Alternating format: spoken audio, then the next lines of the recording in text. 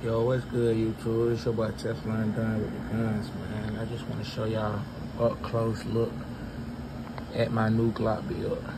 Well, I had it for a minute, but it's new to y'all because I don't show much of it. But here I am now. So I'm going to start off by saying this is the Glock 45 Gen 5 MOS.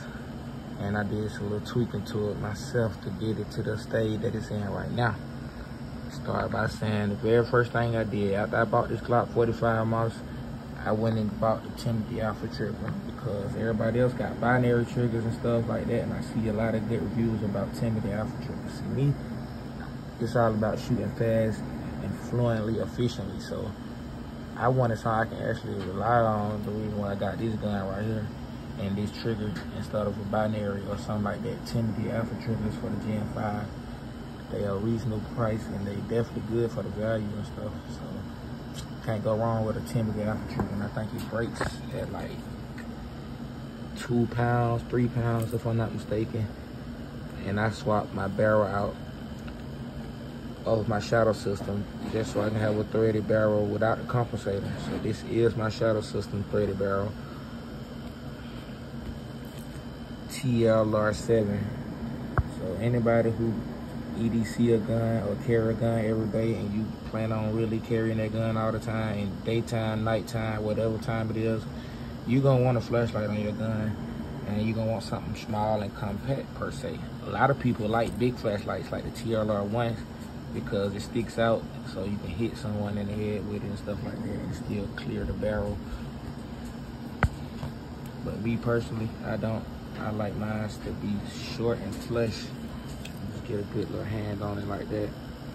Trigger pad. So I got Timney Alpha trigger and the TLR7 on my Glock with the shadow system threaded barrel. I actually have a uh, KKM comp, KKM comp and threaded barrel combo for this, but I put that inside the shadow system. That's fun. Here it is right here. So this is the barrel that originally goes into my Glock 45 KKM Precision Barrel and Comp. So, in that the case, I put the Holosun 508 on here since I got a 507 on here.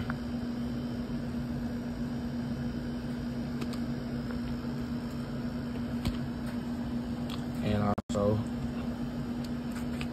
Taran, Tyron Taran tactical magazine with the magwell um, Glock magazine with the six pound magwell. I mean with the six round extension magwell. Magazine extension, I mean, and Taran Tactical magazine. So we got the magazine and the magwell of Taran Tactical.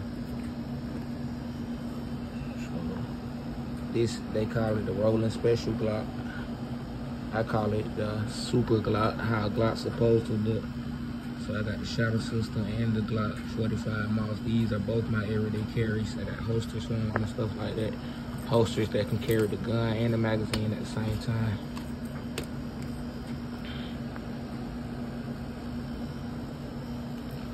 And 20 round, 20 round extension in here from the Glock 19X.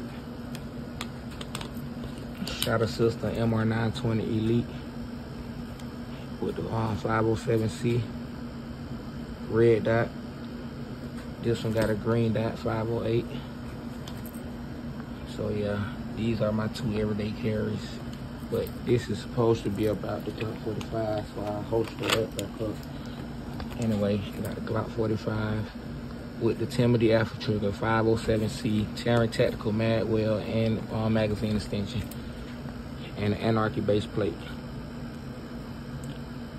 Shadow system threaded barrel have been running pretty good inside of this um, build. Like I thought I would be having some problems or something, but surprisingly the shadow system barrel actually works well in the Gen 5s. If you know, you know, right? So there you have it, my Glock 45 Gen 5 with the Holosun and TLR7 Timney Alpha Trigger. and green sight. You know,